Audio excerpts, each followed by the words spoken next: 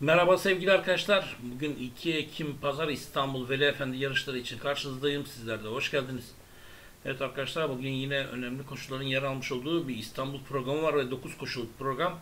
E, tabii bundan öncesinde bir Adana yarışımız var. E, o da 10 koşuluk bir program arkadaşlar. Her iki programımız da yayında. Tabii bir de günün içerisinde bir Amerika yarışımız da olacak. E, en azından bunu da belirteyim. Tabii e, cumartesi akşamki Amerika e, çoğu yarışta çimden kum öyle bir şey. Bayağı pistti, ıslaktı ama en azından son yarışlar çimde yine koştu. E, hem birinci hem ikinci altıyı tutturduk. Bazılarını misli tutturduk herhalde. Vaziyetini gösteriyor. E, yine e, hiç yoktan güzel bir ikramiye de verdi. Tutan arkadaşlar da hayırlı olsun. En azından Amerika yarışlarımız gerçekten iyi gidiyor. E, daha doğrusu bu hafta iyiydik. E, birkaç tane altılı e, tutturabildik sizlere. E, inşallah daha büyük ikramiler e, olması dileğiyle hemen yarış programımıza başlayalım arkadaşlar. Herkese bol kazançlar, bol şanslar dileğimizi tekrardan sunalım ve birinci koşumuzun saatler 15-15'te başladığını ve handikap 17 3 yaşlı İngilizlerin 1200 metre çim koşusuyla ilk startımızı verelim.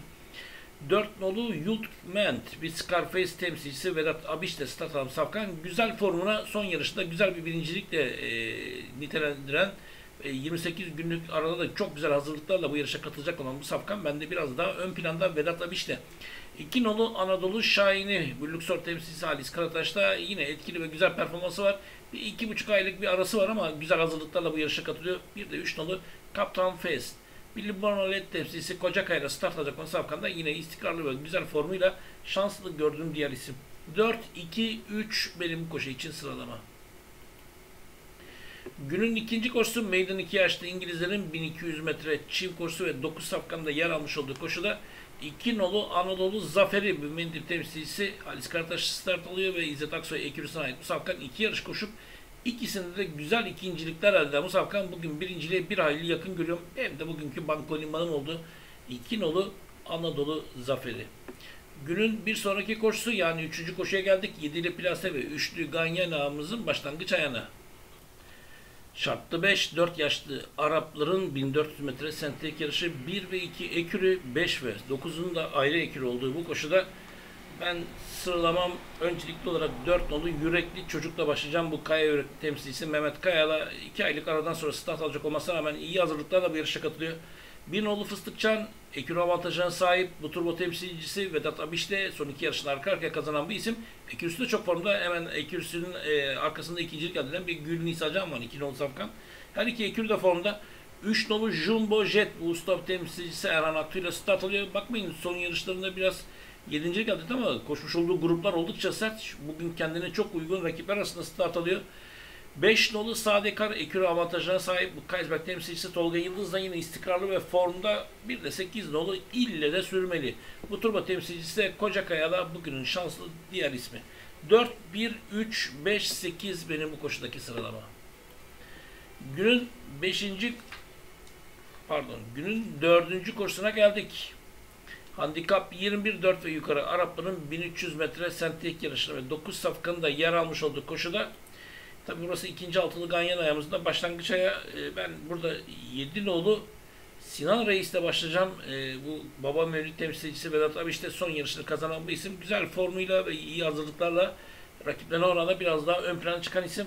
Dört nolu Canım Çıtır bu sarraf temsilcisi Mehmet Kaya'la yine kendine uygun rakipler arasında kesinlikle şanslı gözüküyor. Bakmayın son yarışta biraz Toto kötü gibi gözüküyor ama iyi gruplarda start almış bir isim. 5 nolu bana müsaade bu Kaysberg temsilcisi Hakkın Sözen'de son güzel birincilikle artan formuyla yine burada da çok şanslı gördüğüm diğer isim.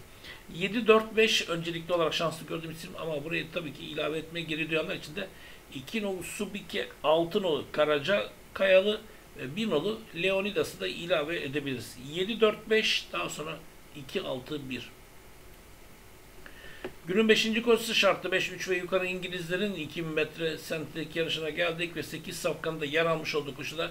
4 nolu Winnerman, bu Win River'in temsilcisi Kocakaya'da son güzel ikinciliğiyle artan formu ve iyi hazırlıklarla birinciliğe biraz daha yakın gördüğüm isim. 5 nolu Can Dream, bir Red Can temsilcisi Halis Karataş'la start alacak olan bu kendi aile atlarından birisi olan bu safkanda yine iyi görüntüde ve iyi rakiplerle mücadele eden safkan bugün kendine yine uygun rakipler arasında bence kesinlikle boş geçmemek lazım. Bir de bir nolu Newport, bir Victor Gallup temsilcisi Özcan Yıldırım da yine bugünün etkili isimleri arasında gözüken safkan. 4, 5, 1 bu koşu için sıralama.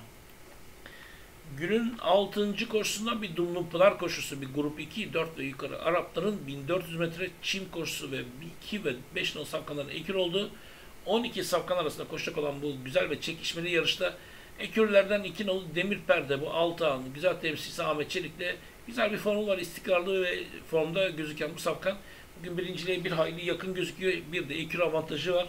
11 nolu Köçek bu Kaysberg temsilcisi Saadettin Bayraz'da yine bu aralar iyi form tutmaya başladı. 7 nolu Sancar bu 6 A temsilcisi Vedat Abiş'te yine bugünün iyi hazırlıklara sahip bir diğer safkanı. 12 nolu Safari yine bir Kaysberg temsilcisi Halis Kartaş'ta son 3 yarışı arka arkaya kazanan bu isim güzel formuyla bu yarışa katılıyor ve son yarışında biraz hayal kırıklığı uğrattı. Yani hadi dediği yerde biraz yerinde sayması yarışı kaybetti ama bugün jockey değişikliğine giden 10 nolu Gül Hatmi'yi de Müslüm Çelik'te ilave edebileceğimiz isim. 2, 11, 7, 12, 10 bu koşudaki sıralama. Günün 7. koşusuna geldik. Sahir Kurutluoğlu koşusu. Bir grup 3, 2 yaşlı İngilizlerin 1400 metre sentlik yarışı ve 6 safkanında yer almış olduğu koşuda ben bir nolu Dagmar, bu Trivalis temsilcisi Vedat Abiş'le start alacak ama safkan ilk yarışında güzel bir birincilikle yarış hayatına başlayıp sonraki 3 yarışında 3. 4. 3. geldi. Tam grup yarışlarında yani üst düzey safkanlarla mücadele eden bu safkan Bugün bence kazanmaya bir hayli yakın görüyorum. En azından bu rakiplerini geçmesini bekliyorum.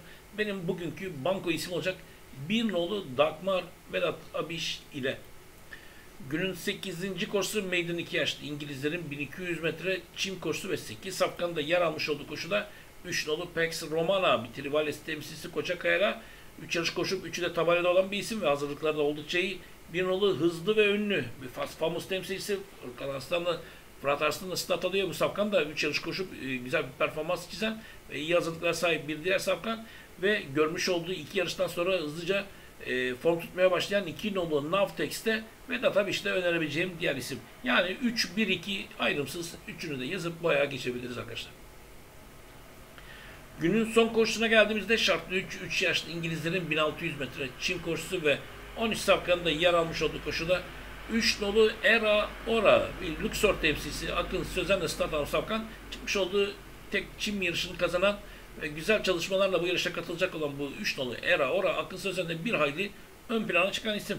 5 dolu Rain Grain bir drodoplu temsilcisi Ayhan Kurşun'la Stardom Safkan da yine istikrarlı ve formda görüntüye sahip. Ve 2 nolu Bushfire bir Bushranger temsilcisi Erhan Aktu ile Stardom Safkan da yine bugünün e, etkili isimleri arasında.